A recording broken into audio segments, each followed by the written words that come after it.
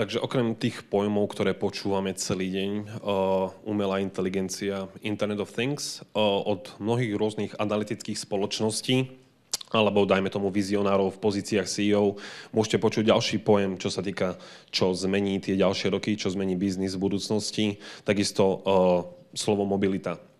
Mobilita v podstate znamená, je to uh, digitalizácia mobilných procesov, uh, je to väčšie využívanie mobilných zariadení, Takže to je v podstate nie niečo, čo je len uh, nejakou našou bočnou aktivitou, niečím, v čo, v čo veríme, alebo na čom by sme chceli pracovať.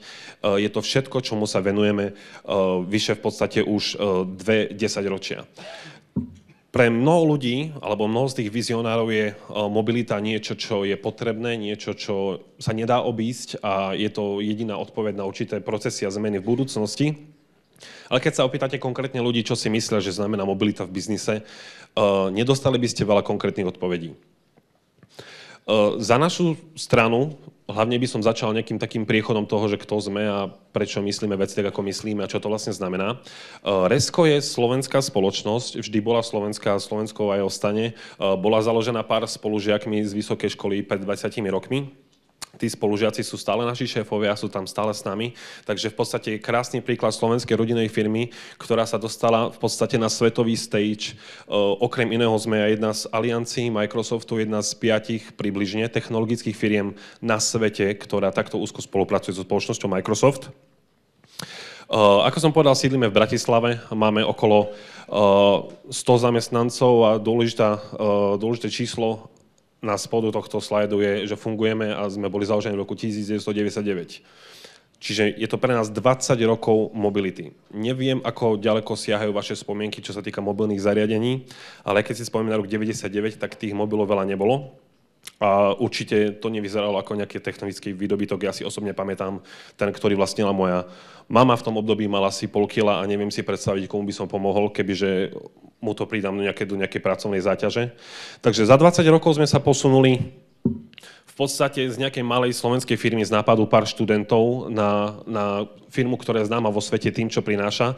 Pár čísel, aby ste si vedeli predstaviť, ako asi vyzerá náš dopad. Momentálne sa naše riešenie používa uh, vo vyše 100 krajinách, takisto ako Microsoft. Uh, my sme autor technológie a pracujeme výhradne s partnermi v daných krajinách, takže nerobíme všetky tie implementácie my, ale máme spolupracovníkov po celom svete, tých máme vyše 600.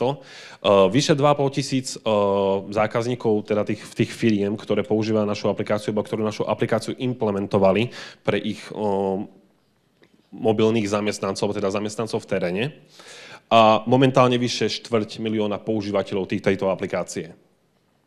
Čo v podstate Resko vyvinulo je platforma, nie je to len mobilná aplikácia, lebo keď človek väčšinou povie mobilná aplikácia, tak si predstavíte uh, niečo, čo vám merá puls, alebo koľko káv ste vypili, alebo kedy sa máte vrátiť domov, aby ste nemali problém. Uh, Platforma Resko ponúka to, že tieto aplikácie si viete prispôsobovať. Ako samozrejme viete, ľudí, ktoré máte v teréne, niektorí sú obchodní zástupcovia, niektorí sú technici, každý má iné potreby a to, aby bola táto mobilita efektívna, tie potreby musia byť odpovedané v tej aplikácii. Takže Resko prišlo s riešením, s platformou, ktorá vám umožňuje veľmi jednoducho bez kódu prispôsobiť tú aplikáciu a všetky tie funkcie v nej tomu, čo ten váš daný zamestnanec potrebuje. Takže obchodný zákazník uh, nepotrebuje, mať, zo sebou nejaký objednávkový formulár, objednávku dokáže uh, naťukať do svojho tabletu alebo do svojho uh, telefónu, dokáže v tom telefóne vygenerovať faktúru, nechať si ju podpísať na displeji tohto, tohto telefónu a môže rovno poslať zákazníkovi. Takže žiaden plný kufor, ako to bol zvyk pri obchodných zástupcoch rôznych formulárov a u rôznych ďalších takýchto záležitostí stačí jedna mobilná aplikácia dokážete v podstate podchytiť celý proces. Čiže nie je nejaká jedna aktivita, že mi to merá uh, počet káv, ako som spomínal, ale v podstate celý ten proces tohto človeka, ako prechádza týmto dňom. Aby som to vedel lepšie zašpecifikovať, lebo ja tu rozprávam o platforme, o aplikácii, o mobilite a tak ďalej, aby ste si vedeli konkrétne predstaviť, čo my vlastne doručujeme našim týmto zákazníkom cez našich partnerov. Zašpecifikoval som to do nášho product portfólia. Product portfolio je v podstate nejaká lepšia vizualizácia toho, čo robíme, aby si ľudia teda vedeli predstaviť, čo s aplikáciou Desko prichádza. Takže jeden z tých prvých je asi mobilita pre uh, obchodných zástupcov. ako si môžete všimnúť, Resko umožňuje každému človeku v teréne pristúpiť do dát, ktoré majú vo svojom podnikovom informačnom systéme. A nie len k ním pristúpiť, ale samozrejme s nimi pracovať, ich upravovať. A takisto k týmto všetkým možnostiam má vyše 800 ďalších features, alebo teraz už neviem, ako to po slovensky sa povie, ktoré funkcionality, ďakujem pekne, ktoré mu umožňujú lepšie využívať to mobilné zariadenie. To znamená, častý prípad, ktorý môžem spomenúť, je, že jednoducho príde technik ku vám a vôbec nevie, čo má opravovať, lebo tam nikdy nebol, lebo zaskakuje nejakého svojho kamaráta. Stačí, že našu aplikáciu si otvorí, priamo v nej si otvorí fotoaparát, oskenuje kód, ktorý je na tom boilere a automaticky mu vyskočí postup všetkých krokov, ktoré má vykonať, ako by mali vyzerať a tak ďalej. Takže to je jedna z, jedna z tých feature, ktorá tam je spomenutá, ten barcode QR scanning. Takisto si viete automaticky skenovať business karty, takže si ich nemusíte odkladať a potom doma niekde písať do diára, tá karta je automaticky oskenovaná a vo vašom podnikovom informačnom systéme hneď v tom momente. Takže cez všetky tieto možnosti, ako je trekovanie samozrejme callov a tak ďalej, všetky aktivity, ktoré obchodný zástupca môže robiť, môže vykonávať v tejto danej aplikácii. Takisto prezentácie, čiže ak máte nejaký tablet, nepotrebujete mať so sebou brožúry a rôzne takéto pomôcky. Všetko je to v mobilnej aplikácii, takže si vystačíte len s týmto mobilným zariadením, čo nie len rýchlejšie, príjemnejšie, ale čokoľvek aj čo urobíte, hneď o tom vedia vaši kolegovia uh, na centrále.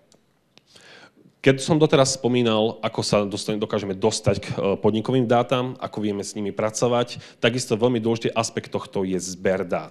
To je ďalšia taká akási produktová časť tej našej platformy. E, momentálne sa volá Inspections, čo je trošilinka marketingovo zavádzajúci názov, lebo nie je to len o inšpekciách, je to všeobecne o v podstate uh, papierových formách alebo nejakých, dajme tomu, dotazníkoch, ktoré, ako hovorím, tradične poznáme z papierovej formy. My ich vieme digitalizovať. Bol, to jeden scenár, ktorý som už spomenul.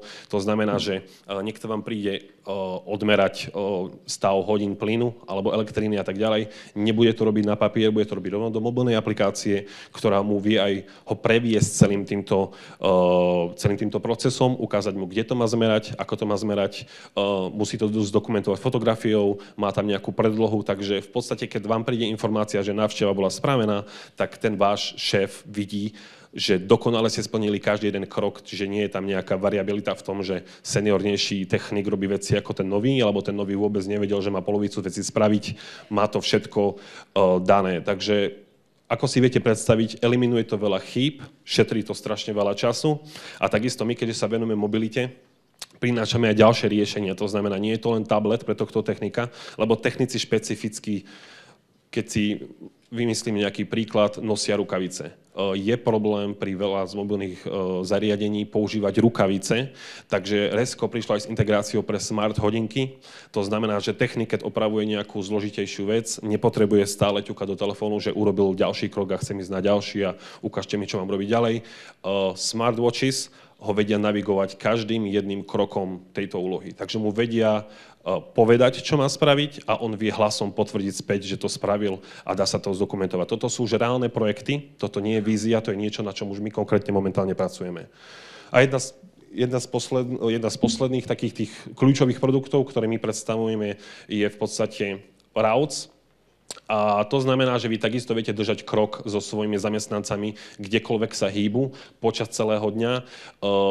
Tento táto definícia veľakrát zbudí pár obáv, hlavne z dôvodu, lebo v niektorých krajinách Európe vôbec je zakázané vedieť o svojich zamestnancoch, kde sú.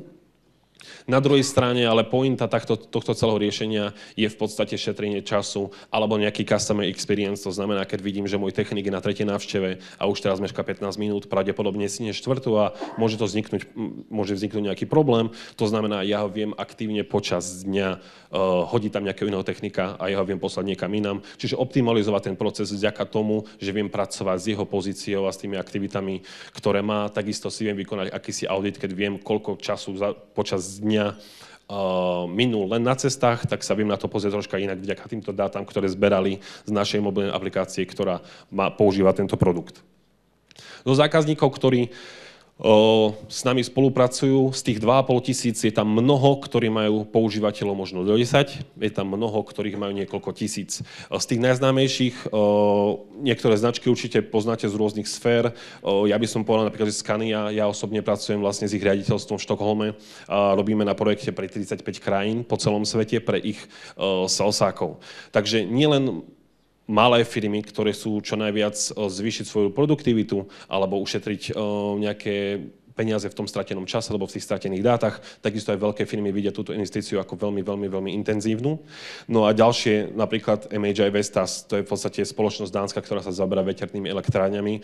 Takisto idem na konferenciu e, do Kodane o dva týždne a tam je to v podstate celý ten biznis len o tom. Tam je veľké využitie, veľká vízia pre tie smart hodinky a rôzne tieto e, veci, keďže títo technici potrebujú strašne veľkú podporu a veľmi veľa vecí riešia, ktoré jednoducho musia byť známe do detailu aj u nich vlastne potom v nejakom riaditeľstve. Toto všetko bol biznis, čím sa my ale najviac píšeme, na čo sme najviac my hrdí, je náš projekt s Organizáciou Spojených národov, ktorá využíva našu aplikáciu na registrovanie utečencov v utečeneckých táboroch v Afrike. Takže asi si viete predstaviť, že keď veľakrát mimo Bratislavy prejdem 5 km a už nemám signál, troška zložitejší je ten problém v Afrike, kde jednoducho tieto kempy sú väčšinou niekde úplne blízko pri hranici, mimo mesta so žiadnym signálom, čo je jedna zo základných, tak by som povedal, vlastností našej aplikácie, že to všetko, čo som doteraz spomínal, dokáže fungovať aj bez pokrytia. To znamená, keď nemáte signál, reálne nie ste v spojení s tým, s tou svojou spoločnosťou, s tým svojim serverom, stále viete plnohodnotne vykonávať všetky aktivity a presne túto feature podchytila aj Organizácia Spojených národov, keďže neviem, ako viete, ale utečenec je všeobecne uh, status. Je to veľmi uh, dôležitý a zložitý status, nie je to len nejaké označenie, ako bohužiaľ vidíme posledné roky tu na, v našom regióne. Takže je to veľmi zložitý proces, veľmi dôležitý proces a si viete asi predstaviť, že čo sa týka bezpečnosti alebo toho, ako technológia napreduje, Organizácia Spojených národov si vie, koho si má vybrať. Takže snažíme sa nejaké tie svoje uh, aktivity mať nielen v tom biznisovom priestore, ale prenašať všade, kde to má zmysel.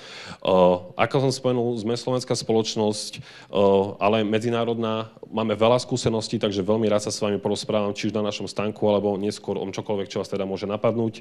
Uh, ešte raz som Jakub Bajla a ďakujem veľmi pekne za pozornosť.